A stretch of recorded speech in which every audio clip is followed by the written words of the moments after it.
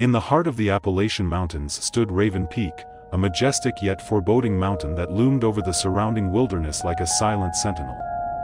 Its name was whispered with reverence and fear by those who knew of its dark history, a history that spoke of vanished hikers, inexplicable disappearances, and chilling encounters with the unknown. Among the brave souls who dared to venture into the shadow of Raven Peak were four friends, Sarah, a fearless adventurer with a penchant for danger, Mark, a seasoned outdoorsman with a skeptical mind, Emily, a nature enthusiast drawn to the mysteries of the wild, and Jake, a thrill seeker always eager for the next adrenaline rush. Their journey began on a crisp autumn morning as they set out to conquer Raven Peak's treacherous trails armed with backpacks filled with supplies and a sense of excitement, they plunged into the dense forest that cloaked the mountain's base. The air was thick with the scent of pine needles and the distant echo of wildlife.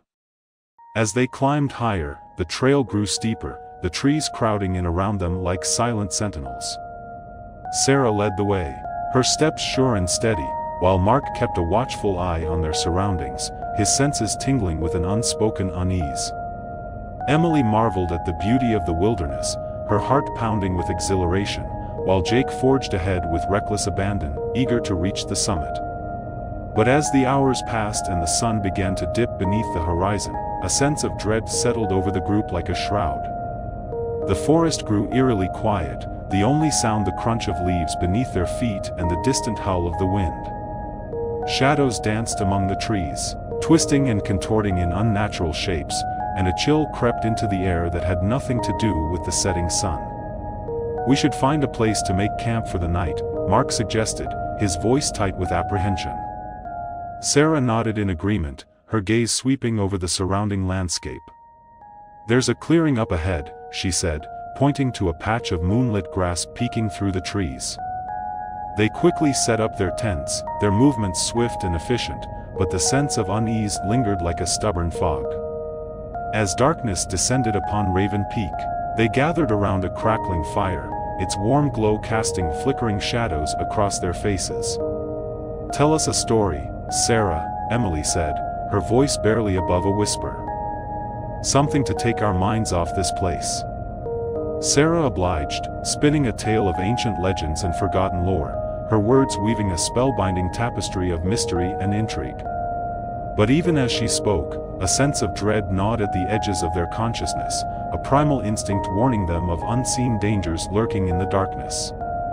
Suddenly, the forest erupted into chaos, a cacophony of rustling leaves, snapping branches, and guttural growls that sent shivers down their spines.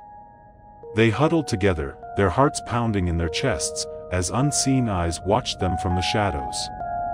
We need to get out of here, Mark said, his voice urgent. Now. With trembling hands, they doused the fire and packed up their belongings, their movements swift and frantic. But as they turned to flee into the safety of the night, they found their path blocked by a wall of impenetrable darkness, a darkness that seemed to pulse with a malevolent energy all its own. Trapped and alone, they huddled together in terror as the forest closed in around them, its twisted branches reaching out like gnarled fingers to claim them for its own. And as the first rays of dawn illuminated Raven Peak's haunted slopes, they knew that they would never escape the mountain's terrible grip, a grip that held them tight in its icy embrace for all eternity.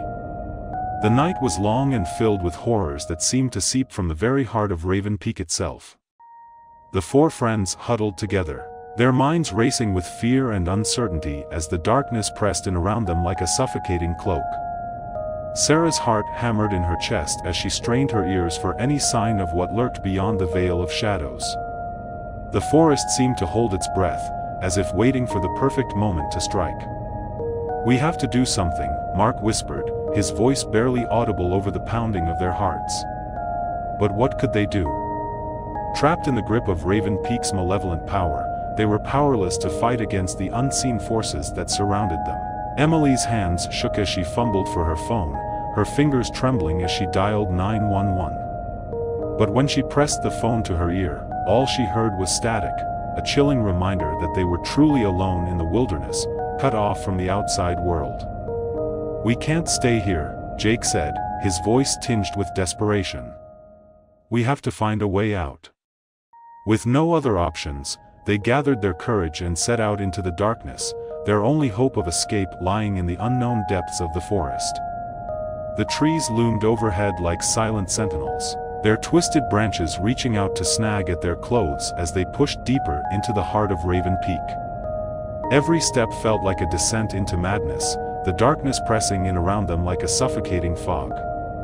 Hours passed in a blur of fear and uncertainty, their progress slow and laborious as they struggled to navigate the labyrinthine trails of the mountain. The air grew colder with each passing moment, a bone-chilling cold that seemed to seep into their very bones. We can't keep going like this, Sarah said, her voice strained with exhaustion. We need to find shelter. They stumbled upon a dilapidated cabin nestled deep within the forest, a relic of a bygone era, its weathered walls sagging with age and neglect. It was a welcome sight in the midst of the wilderness, a beacon of hope in the darkness that surrounded them.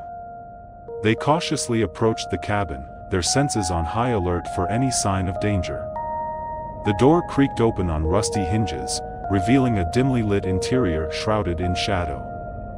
It's better than nothing, Mark said, his voice grim as he stepped inside.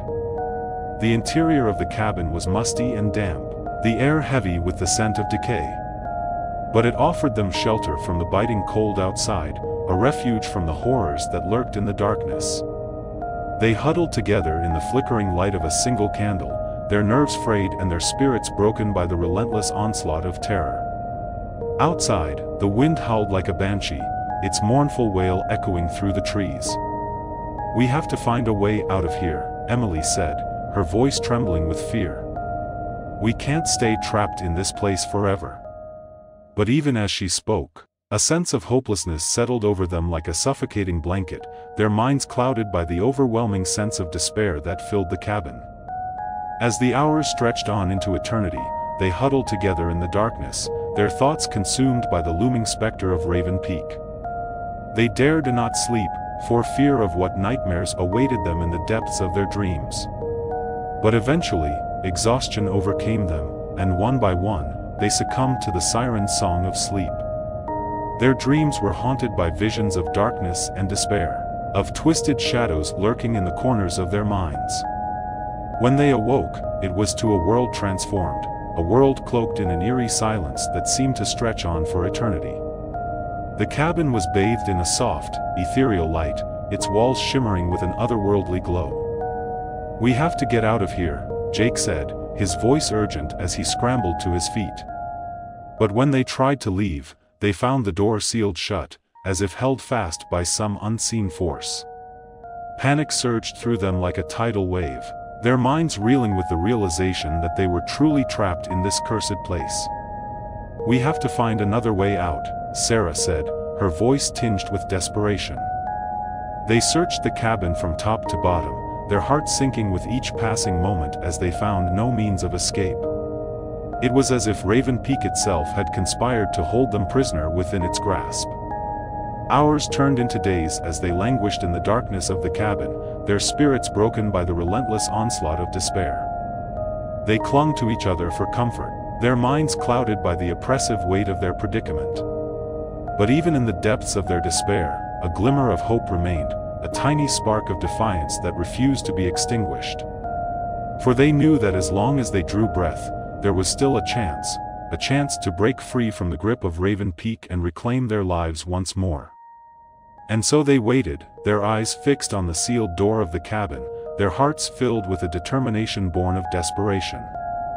For they knew that no matter what horrors awaited them on the other side, they would face them together, united in their quest for freedom.